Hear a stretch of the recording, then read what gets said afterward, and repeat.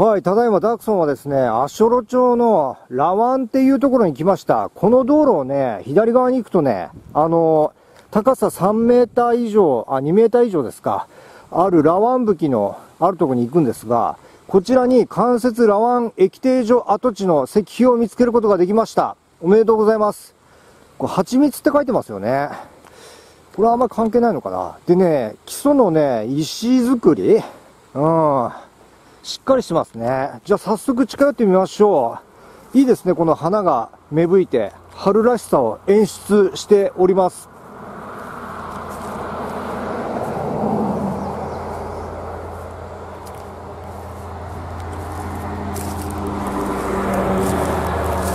この基礎土基礎土台が石なんですね。組まれてます。で、裏側にね、ぎっちり説明が書かれてました。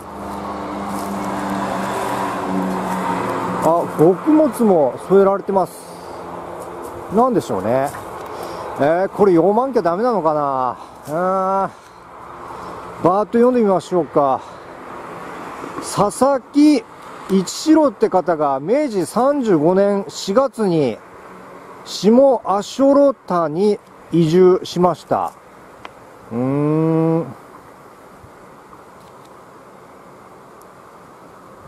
あー。最初は郵便業務を行ってたみたいですね。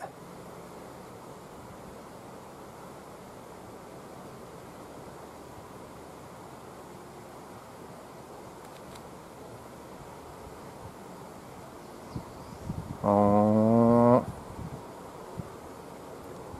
あ、駅亭の後はですね、この牧場の、近くの牧場より少し離れたところにあったみたい。あ輸入種馬1頭。繁殖馬数頭数十頭置き。宿泊所相談所として重要な役割を果たした。あ畑作物の輸送も行ってたんでしょうかね。だからそのような記述が見られます。はい、じゃあ正面の方ね、回ってみましょう。こちらがね、関節ラワン液定所跡地の日でございます。あ、ここに書いてるでしょ、これ。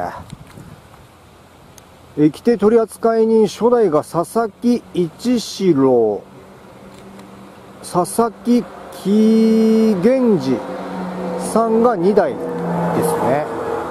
あ大正13年4月に開設して昭和13年3月に駅定が廃止された模様でございます。でね、さっきから気になったんですけど、この引かれてる石ありますよね。この黒いの、これね、石炭じゃなくて、あれですよ。あのー、なんだろう。オブシディアン？黒曜石ですね。えー、こんなにいっぱいあるんだ。ここ。あらま。なんかたくさんあるんで、ちょっと記念に1個もらってくかな。綺麗ですよね。これ、黒曜石1個いただいてきます。